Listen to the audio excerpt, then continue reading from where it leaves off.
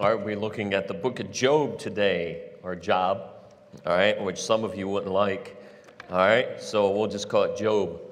All right, so the book of Job today, and this morning we'll be looking, it kind of falls along with the testimony uh, about uh, being appreciative of being a son of God. And so we're going to be looking at the greatness of God this morning. So, Job 37, and I'll read one verse and we'll come back to some text in the book of Job, be looking at the greatness of God this morning. So, Job chapter 37 and verse 14, it says, Hearken unto this, O Job, stand still and consider the wondrous works of God.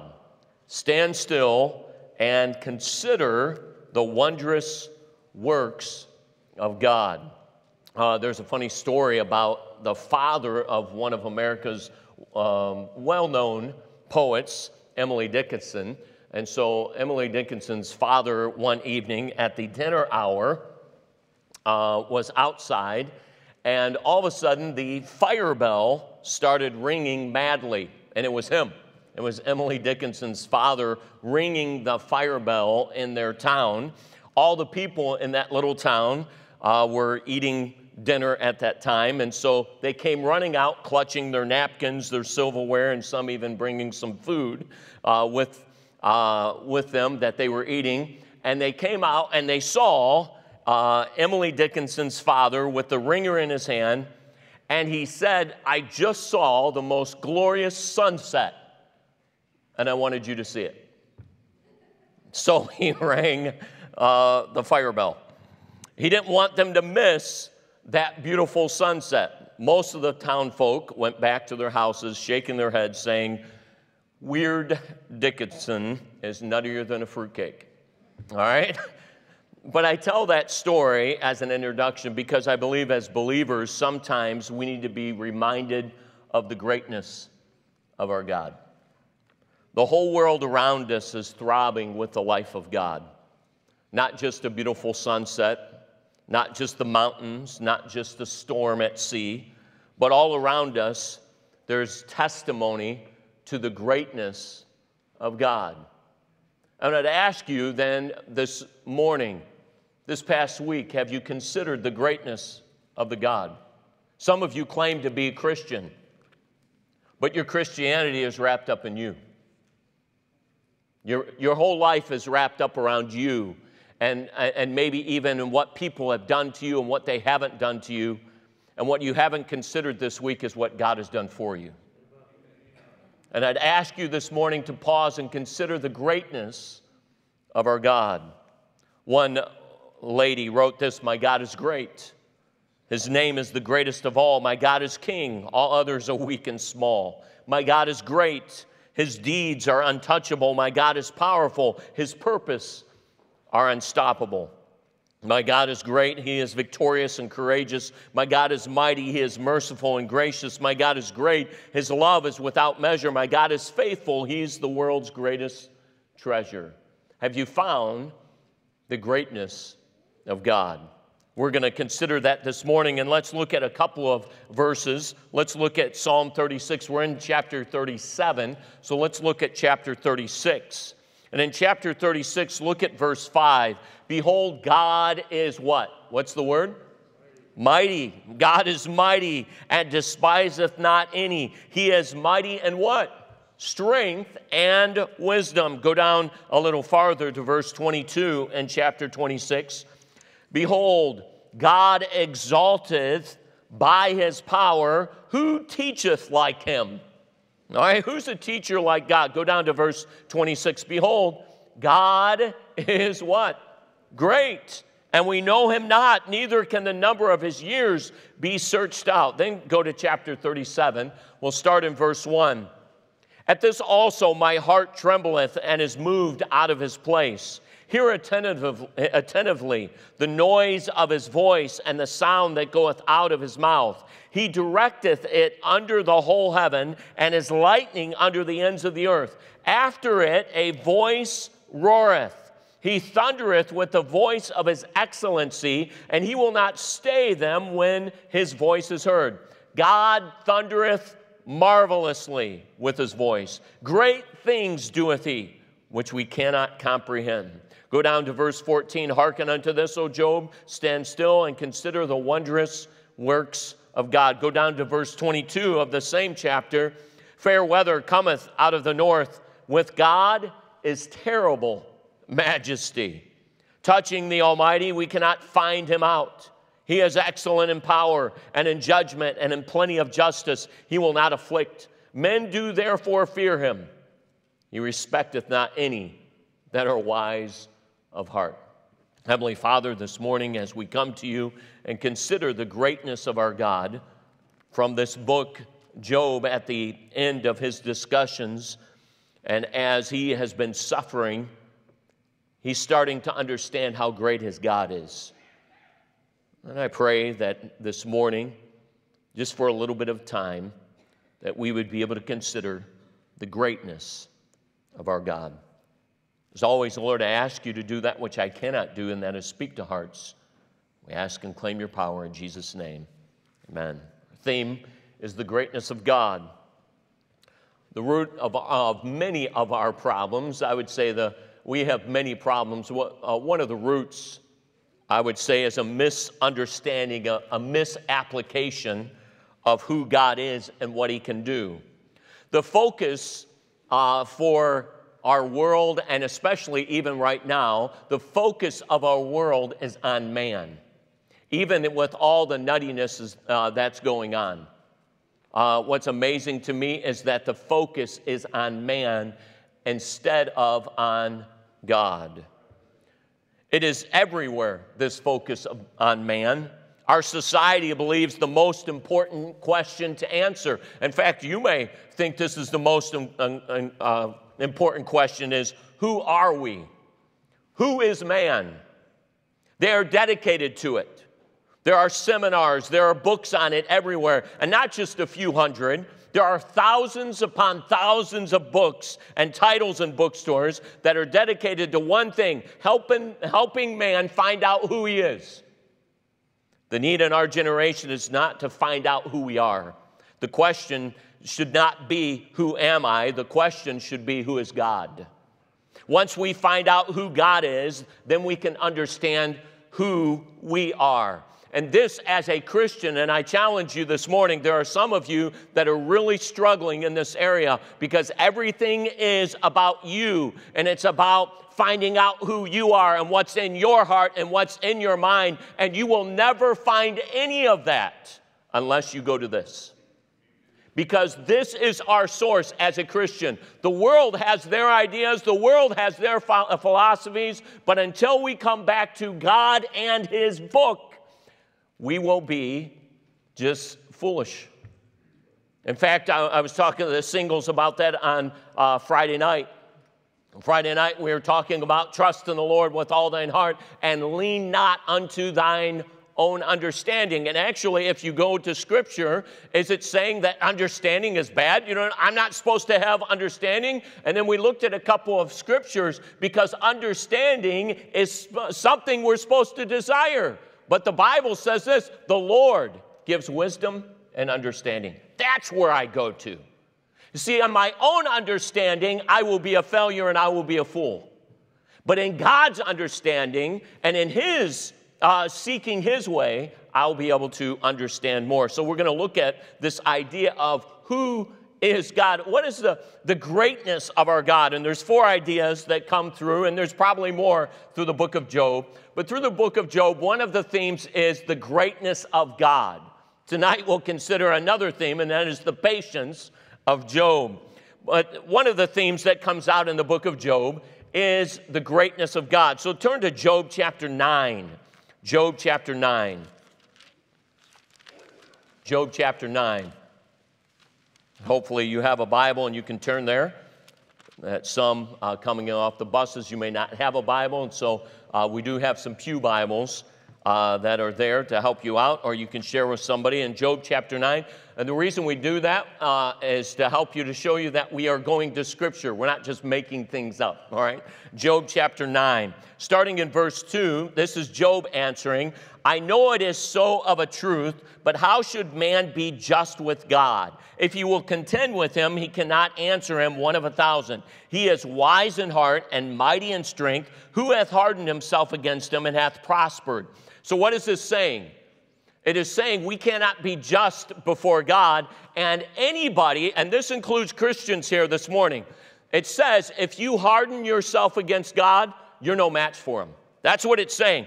He is wise in heart and mighty in strength. Who hath hardened himself against him and hath prospered? You say, wait a minute, I know a Christian. I know a Christian that's a multimillionaire and he's doing his own thing. Nah, wait till the end of his life.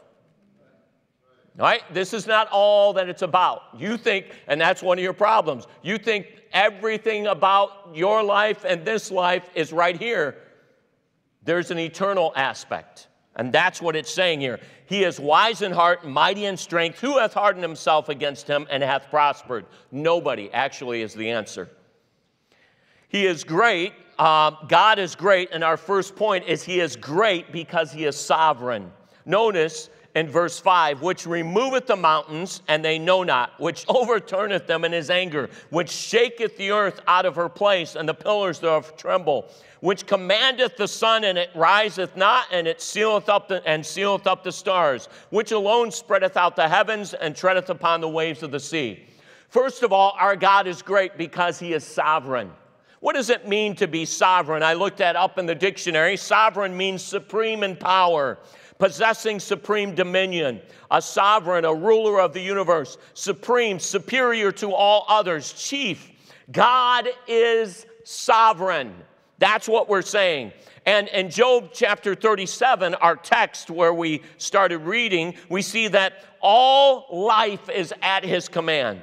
Did you see that in Job 37? At this also my heart trembleth and is moved out of his place. He hear attentively the noise of his voice and the sound that goeth out of his mouth. He directeth it under the whole heaven and is lightning unto the ends of the earth. After it, a voice roareth. He thundereth with the voice of his excellency. He will not stay them when his voice is heard. God thundereth marvelously with his voice. Great things doeth he, which we cannot comprehend. All through this uh, chapter in chapter 37, you also see it in Job 9. God rules this world, He is sovereign. All life is at His command. He controls the elements. Remember Christ when he was here on this earth on the Sea of Galilee, and the disciples, they were kind of panicked because a storm had whipped up across the Sea of Galilee. And as the Bible says, he was asleep in the hinder parts, and they wake him up and they say, Hey, we're going to die. And what does Christ do? Peace, be still. And everything stopped. God is sovereign. God is sovereign, and we must recognize that that's the greatness of the God that we serve. He controls uh, the elements, He controls the animals. It says that in verse 8. Then the beast goeth into the dens and remain in their places. You know why? Because God told him to go there. God can control anything. He is sovereign. He controls the elements. He controls the animals. He controls the supply. Where do we find that? In the text, it says in verse 12, and it is turned around about by his counsels that they may do whatsoever he commandeth them upon the face of the world and the earth. He causeth it to come, whether for correction or for his land or for his mercy. God can do whatever he wants because he's God. I can't do whatever I want because I'm a man. But God is sovereign. He is great because he is sovereign. All life is at his command. He also accomplishes his will on this earth. Where do we see that? It's found in Job chapter 12. Job chapter 12, starting in verse 12, it says, With the ancient is wisdom, and in length of days understanding. With him is wisdom and strength. He hath counsel and understanding. Behold, he breaketh down, and it cannot be built again. He shutteth up a man, and there can be no opening.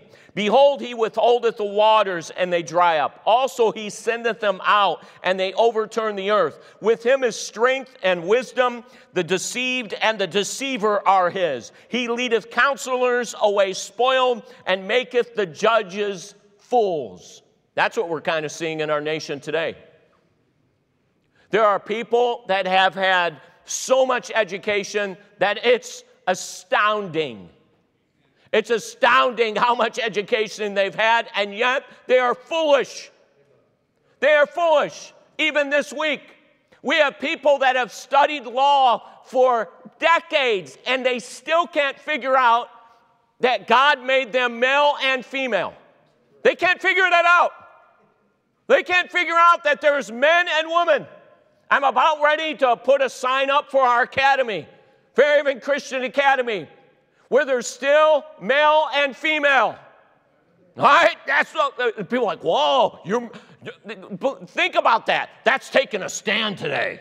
All right? How silly of a, of a nation. They can't even figure that out. Can't figure it out. And yet, that's part of God. God can make people so silly.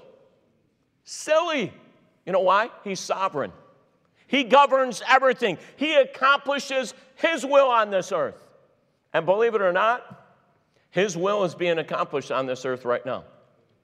You may say, it doesn't make any sense. I know that, but I'm glad I can trust in a sovereign God. That's point number one. He is great because he is sovereign. Turn to Job chapter 11. We're there and we finished up in chapter 12. So go back to Job chapter 11. And let's read verses 7 through 11. Canst thou, by searching, find out God? Canst thou find out the Almighty unto perfection? It is as high as heaven. What canst thou do? Deeper than hell, what canst thou know? The measure thereof is longer than the earth and broader than the sea. If he cut off and shut up or gather together, then who can hinder him? For he knoweth vain men, he seeth wickedness also. Will he not then consider it? For vain men, Man would be wise, though man be born like a wild ass's colt.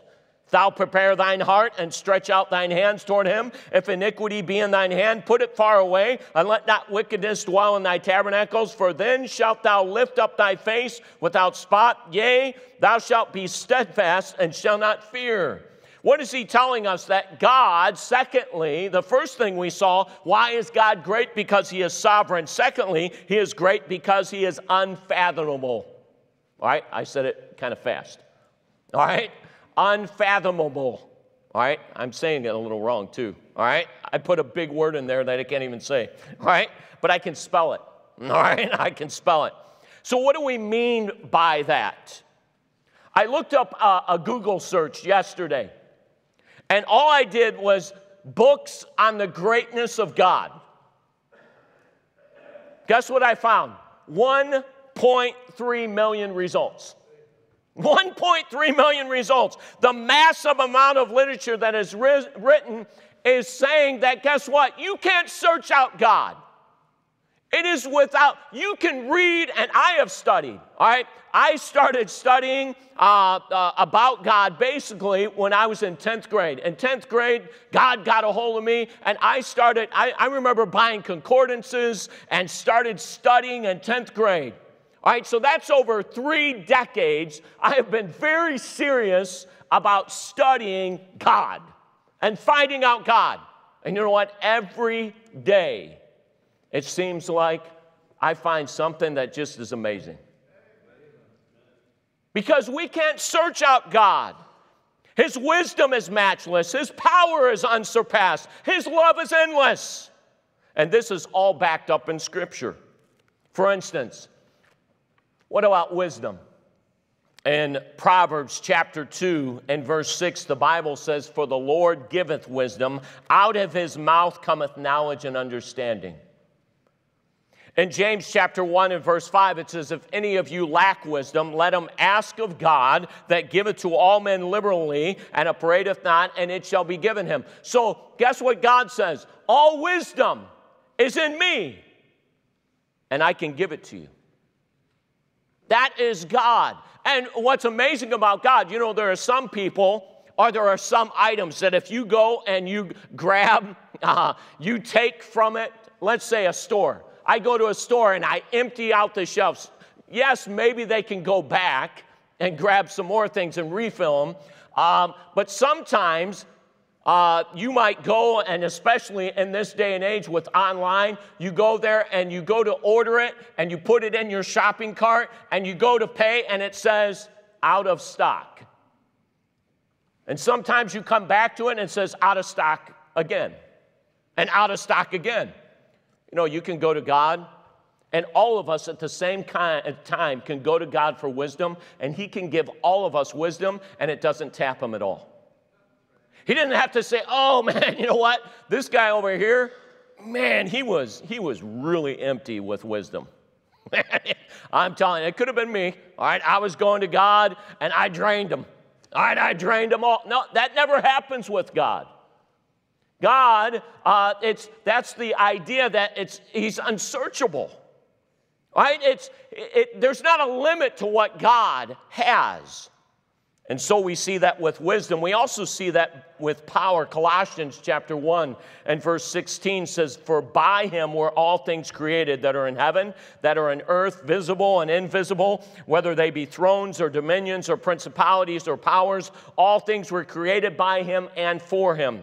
First Chronicles chapter 29 and verse 11 Thine, O Lord, is the greatness and the power and the glory and the victory and the majesty. For all that is in the heaven and in the earth is thine. Thine is the kingdom, O Lord, and thou art exalted as head above all.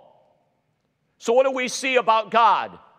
He has all wisdom, He has all power, He also is all love. The world doesn't understand it.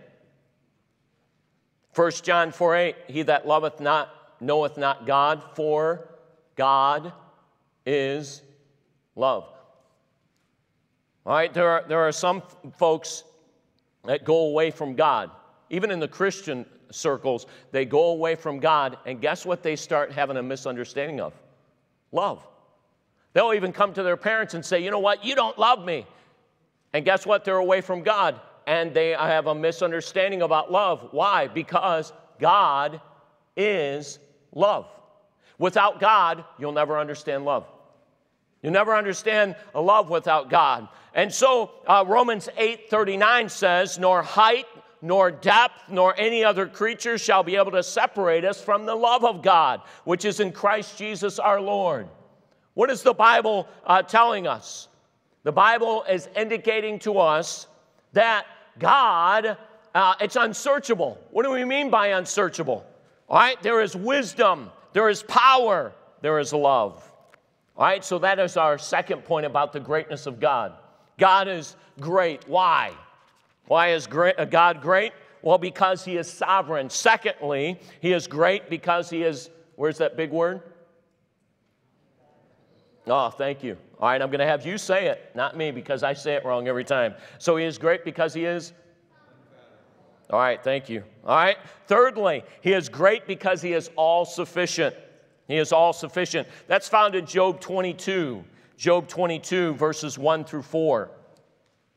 This is Eliphaz, the Temanite. Eliphaz, the Temanite, has answered, and this is what he says can a man be profitable unto God as he that is wise may be profitable unto himself? Is it any pleasure to the Almighty that thou art righteous? Or is it gain to him that thou makest thy ways perfect? Will he reprove thee for fear of thee? Will he enter with thee into judgment? And what do we mean by that? What, what is God telling us? He's asking, Do I need man's help? Does God need our help? Does He need our help for judgment? Does He need? No, He is all sufficient. One of the greatest names, I love studying the names of God, and in Genesis chapter 17, we have the first time that one specific name of God is used, and it's found when God was talking to Abraham in Genesis 17. And in Genesis 17 1, God tells Abraham, and when Abraham was 90 years old and nine, the Lord appeared to Abraham and said unto him, I am the Almighty God, walk before me and be thou perfect.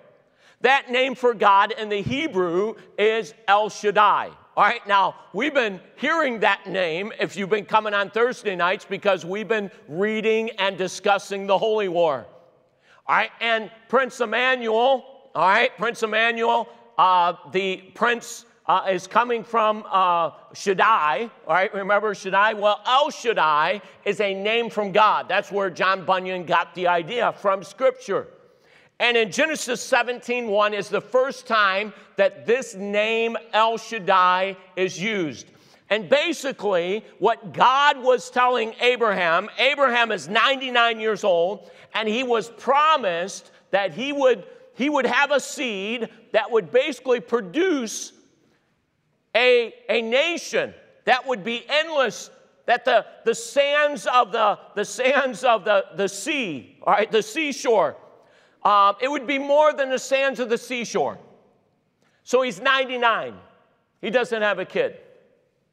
And he's probably thinking, like some of you that are not 99, but maybe 82, all right, and thinking, no, I'm not thinking this is happening. And guess what God said? You can trust in El Shaddai. What does El Shaddai mean? All right, it means the Almighty God, it means the all sufficient one. What was he telling Adam? You can't do this, but I got this. Remember, uh, I think it was Clint Reardon on Sunday night was kind of referencing that, that, hey, I got this. That's kind of a phrase now. Hey, I got this. No, you don't. On your own, you'll probably fall flat on your face. But I'm glad that I have a God that is all sufficient. What do we mean by all sufficient? It means that God Almighty is sufficient to supply all my needs. He doesn't need my help, He doesn't need my guidance, He doesn't need my money, He doesn't need my resources, He doesn't need my talents. Now, He chooses out of His grace and mercy, He chooses to use man. And sometimes I think He's pretty disappointed. But God is sufficient. He is sufficient. There's a couple of uh, passages that show this in Scripture. One is, if you want to turn there, Psalm chapter 46. Psalm chapter 46, it's a great passage that reveals the sufficiency of our God. So, Psalm 46. It's only 11 verses. So, let's do this. Um, if, if you can handle this, let's read all 11 verses and we'll read it responsively. All right, so what do we mean by that? I read one verse, then we all read a verse together. So we'll read uh, Psalm 46, all of it together. And let's see if this helps us out with the all sufficiency idea of God. So I'll start in verse 1 then together we'll read two, I'll read three, we'll go down through verse 11. All right, starting in verse 1 with me. God is our refuge and strength, a very present help in trouble. Together, therefore will not we fear, though the earth be removed, though the mountains be carried into the midst of the sea. I'm reading, though the waters thereof roar and be troubled, though the mountains shake with the swelling thereof. Selah. Together, there is a river the streams whereof shall make glad the city of God, the holy place of the tabernacles of the Most High. God is in the midst of her. She shall not be moved. God shall help her, and that right early. The heathen raged, the kingdoms were moved. He uttered uh, his voice, the earth melted. The Lord of hosts is with us. The God of Jacob is our refuge. Selah. Come, behold the works of the Lord what desolations he hath made in the earth. He maketh wars to cease unto the end of the earth. He breaketh the bow and cutteth the spear in sunder. He burneth the chariots and fire. Be still and know that I am God. I will be exalted among the heathen. I will be exalted in the earth. The last, the Lord of hosts is with us. The God of Jacob is our refuge. Selah. What is the Bible telling us? You can rest in the sufficiency of God. You can,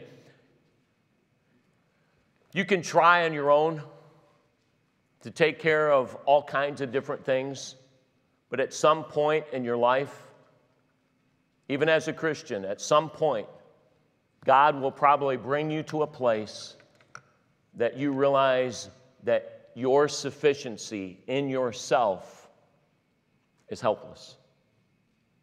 You can't, you can't, you can't make it. Can't meet it. You can't meet the needs. And God brings us to that point, and that's why I believe the book of Job is there. Job, although he was a good man, and you read that in Job chapter 1 and Job chapter 2, and actually his friends were a little off on that. They came and they were peppering him, saying, You must have sinned, you must have did this, and you must have did that. But at the end, Job, God did kind of scold Job a little bit because he had some sufficiency in himself instead of God. And all through the book of Job, and it's written for us, for our admonition, it's written for our instruction, so that we can come to the book of Job. And sometimes God sends something into our lives to help us to understand that we are weak, we're frail, we can't do this. I don't got this. But with God, I have El Shaddai. I have a God that is sufficient to meet my needs and I must rest on him. And that goes against, that goes against even the American dream. It goes the, uh, uh, against the idea of, man, I'm not, I'm not dependent upon anybody. I'm independent. I understand that as far as being an independent Baptist church, but guess what? There is never a time in your life here on this earth that you are supposed to be independent of God. It is not found in Scripture. I am always to be dependent upon the sufficiency of Christ and of my God. The last point that we see here this morning is found in Job chapter 26. Job chapter 26. So, he is great. Why is God great? Because he is sovereign. He is great because he is, secondly, what's the word? Thank you again. Number three, he is great because he is all sufficient. And fourthly, he is great because he is all knowing. Look at chapter 26. This is Job answering. And Job answers his friends. And this is what he says. We'll pick it up kind of in the middle of the chapter in verse 6. Hell is naked before him, destruction hath no covering. So, who is this talking about? God. Everything's open before God. That's what he's saying. Destruction hath no uh, covering. He stretcheth out the north over the empty place and hangeth the earth upon nothing. He bindeth up the waters in his thick clouds, and the cloud is not rent unto them. He rolleth back the face of his throne and spreadeth his cloud upon it. He hath compassed the waters with bounds until the day and night come to an end. The pillars of heaven tremble and are astonished at his reproof. He divideth the sea with his power, and by his understanding he smiteth through the proud. By his spirit he hath garnished the heavens, his hand hath formed the crooked serpent. Lo, these are parts of his ways, but how little a portion is heard of him. But the thunder of his power, who can understand? All right, it's talking about power, but also it's talking about his understanding. Everything is open before God. Why? Because God is great because He is all knowing. He knows everything.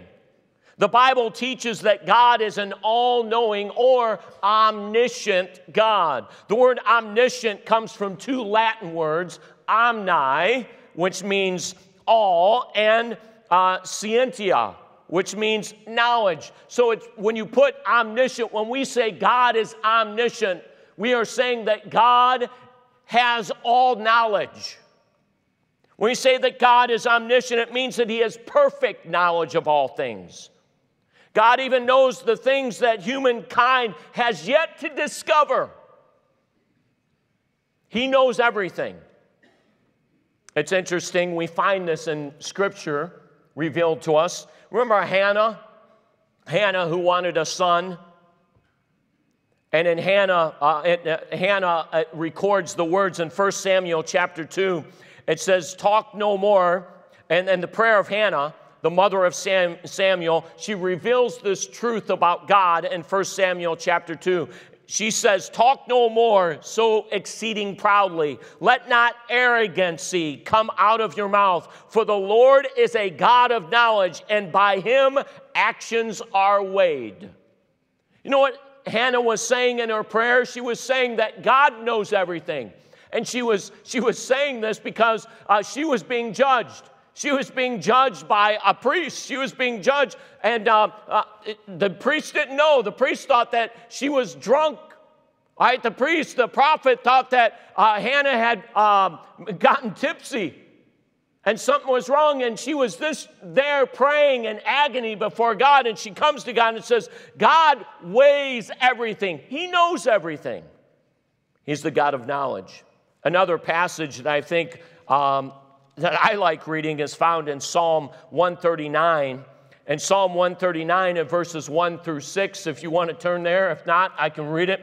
But in Psalm 139, it says, O Lord, thou hast searched me and known me. Thou knowest my downsitting and my uprising. Thou understandest my thought afar off. Thou compassest my path. Uh, and my lying down and art acquainted with all my ways. For there is not a word in my tongue, but lo, O Lord, thou knowest it altogether.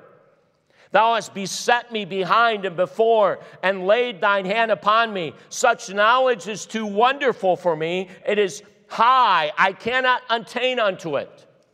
And then he starts saying, Well, where can I go from his presence? And he couldn't go anywhere. But in the first part of this, the psalmist is saying that God knows everything, even the words that you're gonna say, he knows them. That's the knowledge of our God. He is all knowing. The psalmist wrote in Psalm 147 in verse 5, he says, Great is our Lord and of great power. His understanding is infinite. What does it mean by saying infinite? The greatness of our God. There's no limit to our God's knowledge. And so I, I ask you this morning, all right, we had a testimony about having fathers, about the greatness of fathers. But one application this morning can be do you know God as your father? Because God, as your father, what have we, what have we seen? He's sovereign. When you step into God's family, He rules and reigns. He rules and reigns everything. That's who's in charge of your life now. He is sovereign, He's unsearchable. That's what we saw in our second point. And then we saw that He is all sufficient. And so that's why you can come to God the Father this morning and you may not know on your own you're saying, "Well, I can I can get to heaven. I can do this." No, you can't. But in God there's all sufficiency. He's taking care of everything.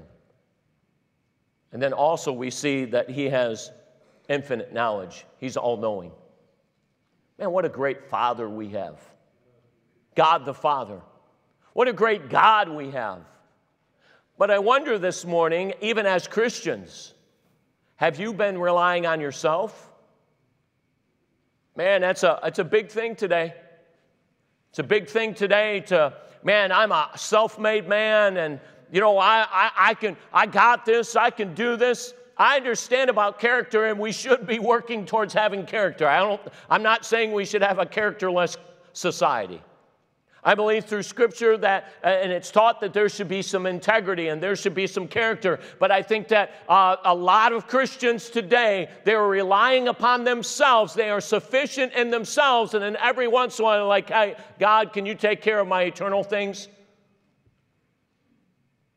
And God is great. He's sovereign.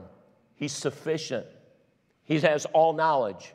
And so, why do you just sit down with him once in a while? There's a story in a book. It was called The Cloister and the Hearth, or The Hearth. It's a cloister and the hearth. And it, it told the story about two men. At one time, there was two men, and they were backpacking their way across Europe. And it was very, uh, during a very dangerous time. And one of the men was always trying to encourage his partner who was getting discouraged because it really was, it was, it was pretty rough times that they were walking through Europe backpacking. And so the one friend would always look to his other friend and say, Courage, my friend, the devil is dead. Courage, my friend, the devil is dead, which is not true. All right? But as I read it, you know what? I can tell you courage, my friend, God's alive. Courage, my friend, God's alive. He's sovereign, He's unsearchable, He's all knowing, He's, He has all sufficiency. So, why are you latching your life on yourself?